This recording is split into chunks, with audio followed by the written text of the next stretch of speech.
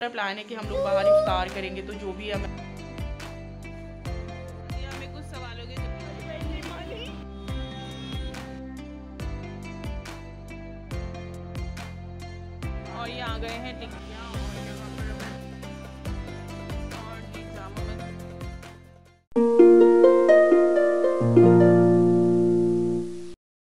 और अब हम जा रहे हैं अम्मी के घर। बहुत ज़्यादा गर्मी थी रास्ते में बे इंतहा वाली गर्मी। अल्लाम everyone, welcome back to my channel. I hope कि आप सब ठीक होंगे, आप सबकी दुआओं से अल्हम्दुलिल्लाह, हम सब भी बिल्कुल ठीक है। तो जी, आ गए हैं हम अम्मी के घर। आज माशाल्लाह से मैंने जोहर की नमाज़ के बाद दुआ करी थी कि अल्लाह पाक हमें रास्ता भी साफ़ मिले और रिक्शा भी जल्दी मिल जाए। तो माशाल्लाह माशाल्लाह वो दुआ कबूल हो गई। और रास्ता एकदम से साफ़, ये समझ लीजिए हम कोई पंद्रह, मुश्किल से पंद्रह मिनट में हम मम्मी के घर आ गए थे ई रिक्शा में और रिक्शा हमें बिल्कुल हमारे घर के नीचे ही मिल गई थी। अदरवाइज़ पूरा बाहर आना पड़ता है, फिर बाहर आके फिर रिक्शा करो और फिर इतना जाम, इतना ट्रैफ़िक मिलता है। बट अलहमदिल्ला आज हमें ना ट्रैफ़िक मिला और हमें रिक्शा भी बहुत जल्दी मिल गई थी, अल्लाह का शुक्र है। तो जी हम 10-15 मिनट में अम्मी के घर पहुँच गए थे। रास्ते की बस मैंने थोड़ी बहुत ही वीडियो शूट करी थी। बच्चे होते हैं साथ में तो इस वजह से मैं ज़्यादा मतलब केयरफुल मैंने आने के बाद ना थोड़ी बहुत तैयारी करी है। पहले तो आने के बाद हिम्मत ही नहीं हो रही थी कुछ करने की क्योंकि बिल्कुल ही मतलब इतनी तेज़ धूप थी बाहर इतनी गर्मी बहुत ज़्यादा तो मतलब बुरा ही हाल हुआ हुआ था गर्मी से। बट अल्लाह थोड़ी बहुत तैयारी कर ली है जैसे खाना वगैरह बना के रख लिया है रात के लिए और सहरी के लिए और दाल वगैरह बॉयल कर लिया है। आलू पालक अम्मी काट रही हैं तो मैं आपको लेके चलती हूँ किचन में और मैं दिखाती हूँ क्या क्या तैयारी हो गई है। यहाँ पर बन गए हैं जी कोफ्ते। ये देखिए जी कोफ्ते बस तैयार होने वाले हैं। मज़े मज़े के कोफ्ते रेडी हो जाएँगे। और अब हम इसे खोल के पकाएँगे क्योंकि ढक के तो मैंने इसे कोई तकरीबन पंद्रह मिनट पका ही लिया है। अब इसे खोल के तेज़ गैस पे मैं दस से पंद्रह मिनट और पकाऊँगी और ये डन हो जाएँगे। और ये है जी आ, दाल जो कि अभी बॉईल हो ही रही है। अभी पूरी तरह से बॉईल नहीं हुई है। हरी मिर्ची फ्राई कर ली है, पालक फ्राई करना रह गया है तो अभी पालक फ्राई हो जाएगा, आलू फ्राई होने अभी थोड़े से। और जी, फटाफट से ये पकौड़ियाँ वकौड़ियाँ रेडी करते हैं तार कर दस्तरखान लगाते हैं, फिर आपको दिखाती हूँ।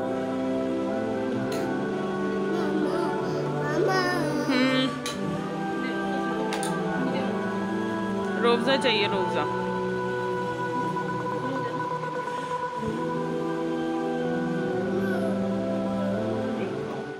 सवालों के जवाब देंगी। सादिया हमारा रब कौन है? अल्लाह। और हमें कितनी नमाज़ें पढ़नी चाहिए? फाइव वेरी गुड और हमारे आका कौन है? प्यारे नबी। और भी देख लीजिए थोड़ा सा इनकी अदाएँ चलिए जी तो गाइस अब हम लोग जा रहे हैं जामा मस्जिद टिक्के खाने के लिए। और रात के दस बज रहे हैं और शादी भी हमारे साथ जा रही हैं। शादी से हाय क्या खाने जा रही हैं आप? टिक्के खाने जा रहे हैं। चलिए जी तो जामा मस्जिद पहुँच के फिर मैं आपको दिखाती हूँ वहाँ की रौनक। जल्दी जल्दी से टिक्के खा कर आते हैं। मज़े मज़े के।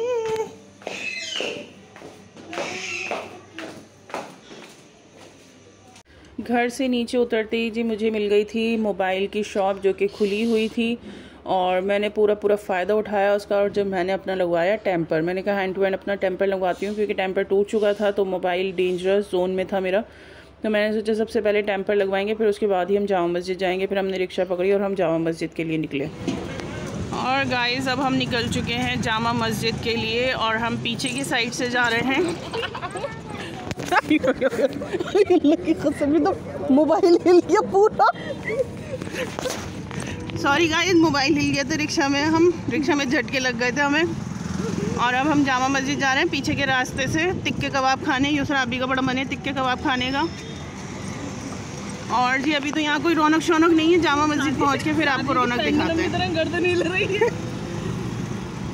और ये इल्सा स्नैप बना रही हैं। ये हर वक्त स्नैप ही बनाती रहती हैं। देखिए जी यहाँ पर भी अभी काफ़ी ज़्यादा रौनक हो रही है। मुझे लग रहा था शायद यहाँ पे कोई रौनक नहीं होगी बट यहाँ पे भी माशाल्लाह काफ़ी रौनक हो रही है।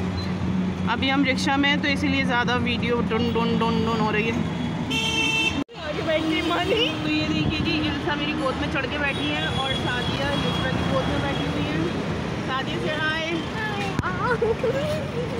और इंसा का सर फूट गया पूरा। और जी ये पहुँच गए थे हम जामा मस्जिद। माशाल्लाह इतनी खूबसूरत लगती है जामा मस्जिद। रमज़ान में रात के टाइम इतनी ज़्यादा लाइटिंग वगैरह और इतना ज़्यादा डेकोरेट कर रखा था इन्होंने। मैं आगे वीडियो में आपको दिखाऊँगी। ऐसा लग रहा है? जैसे दिन निकला पड़ा है यहाँ तो। चलें आप देखते हैं कौन अच्छा टिक्के वाला है। फिर वहाँ पर रुक के पहले टिक्के खाते हैं फिर आपको दिखाते हैं।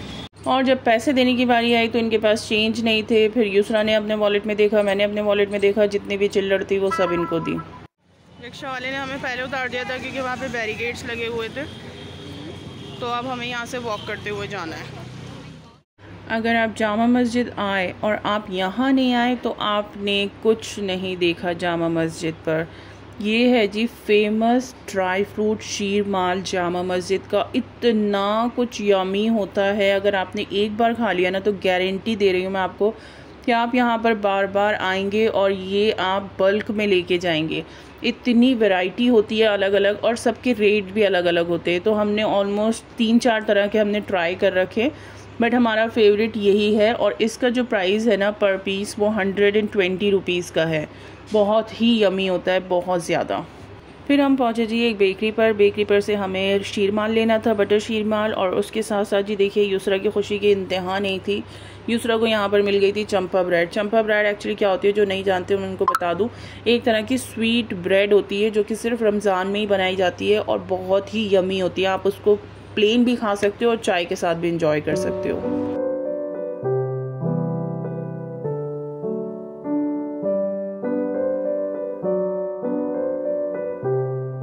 यहाँ से लिया हमने सुहान के लिए कुर्ता पजामा।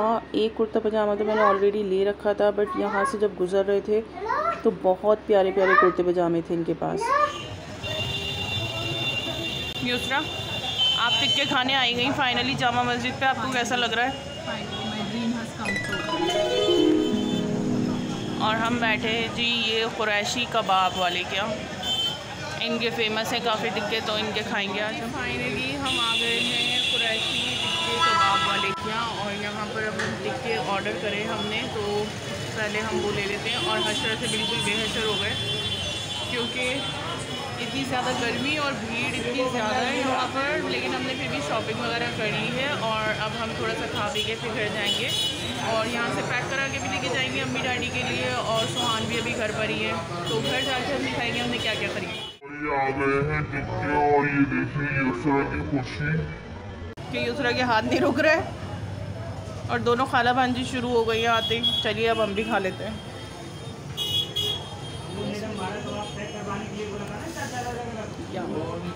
कैसे हो रहे? हम्म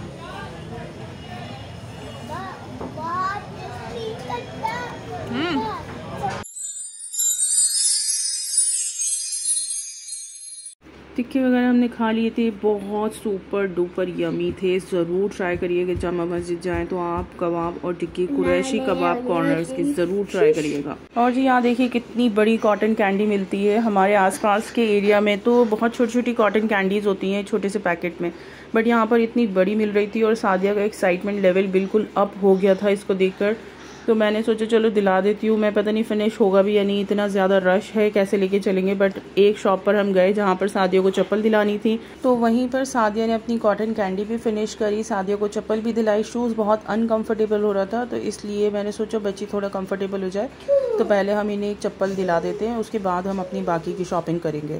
फिर ये सब होने के बाद जी, फिर मैंने यहीं से सुहान की भी सैंडल ली थी और फिर हम आगे चले गए थे।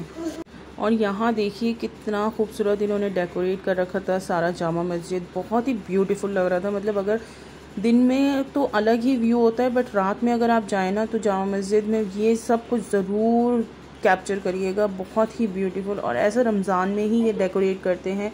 और रमज़ान की ही ये सारी रौनकें हैं जो आप देख रहे हैं। तो जी, इस वक्त बज गए थे साढ़े ग्यारह तो यूसरा ने और मैंने डिसाइड करा कि अब हम घर चलते हैं, क्योंकि अम्मी का कॉल आ गया था कि सुहान भी उठ चुके हैं तो हमने हमने फ़ौर रिक्शा पकड़ी और फिर यहाँ से हम रवाना हो गए थे घर के लिए। बहुत ज़्यादा ट्रैफ़िक था मतलब बहुत बहुत ज़्यादा ट्रैफ़िक था। तो यहीं से निकलते निकलते हमें घर पहुँचते पहुँचते हो गए थे जी, कोई तकरीबन साढ़े बारह, पौने एक बज गया था हमें। और जी, आ गए हम अपने घर वापस। ये रिक्शा वाले भैया हमें लेकर आ गए। अदरवाइज़ हमने सोचा था हम मेट्रो से जाएँगे। हम्म, रिक्शा वाले भैया तो खुद ही आ गए थे लेकिन कि मैंने मैं छोड़ देता हूँ हाँ। चलिए जी बहुत थकान हो गई है घर जाके आपको दिखाते हैं सामान क्या क्या हो लिया है जी जामा मस्जिद जाएँ और ये चीज़ें ना लाएँ ऐसा हो नहीं सकता। तो ये हमने लिया है वहाँ का। ड्राई फ्रूट वाला शीर माल जो कि बहुत ही फ़ेमस है ये देखिए। यामी और आते ही हमने आधा तो खा ही लिया सबने। लो। और सद्दू खा रही हैं टिक्के। हमने ये लिया है। और जी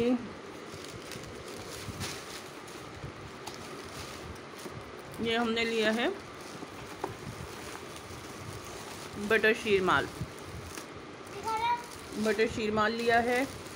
खाने पीने की आइटम हमने ये ली है। और सीख कबाब और टिक्के वगैरह अम्मी डैडी के लिए हम पैक करा के ले आए थे। और ये जी एक सुहान का सूट हमें पसंद आ गया था तो हमने एक सूट ये भी ले लिया है।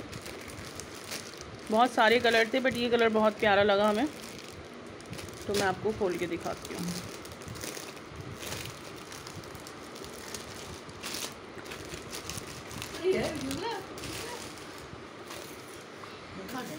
ये देखिए जी, बहुत प्यारा कलर है, माशाल्लाह।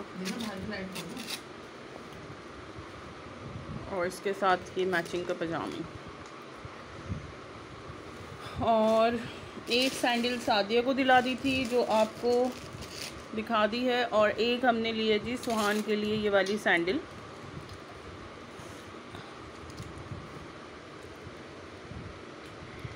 बहुत प्यारी लगी थी ये तो हमने एक ये ले ली सुहान के लिए और एक कुर्ता पजामा ले लिया और बाकी ये सारी शॉपिंग करी। तो जी, आज लगी है ट्वेंटी थर्ड रोज़ा। आज इस ब्लॉग को मैं एंड कर रही हूँ यहाँ पर और कल मैं नहीं कर पाई थी क्योंकि कल इतनी ज़्यादा थकान हो गई थी हम लोगों को आने के बाद और फिर जागने वाली रात भी थी तो इस वजह से हम लोग आके फिर फ्रेश हो गए, फिर हमने इबादत वगैरह करी और फिर सैरी की तैयारी करी तो बहुत ज़्यादा बिज़ी एकदम हेक्टिक हो गया था सब कुछ।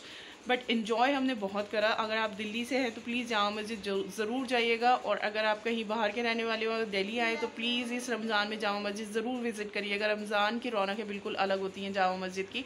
अच्छा जी, कल का हमारा प्लान है कि हम लोग बाहर इफ्तार करेंगे। तो जो भी हमारा प्लान होगा, वो सब कुछ मैं आपके साथ आगे ब्लॉग में नेक्स्ट ब्लॉग में शेयर करूँगी। तो जिसने भी अभी तक मेरे चैनल को सब्सक्राइब नहीं करा तो मेरे चैनल को सब्सक्राइब कर लीजिए।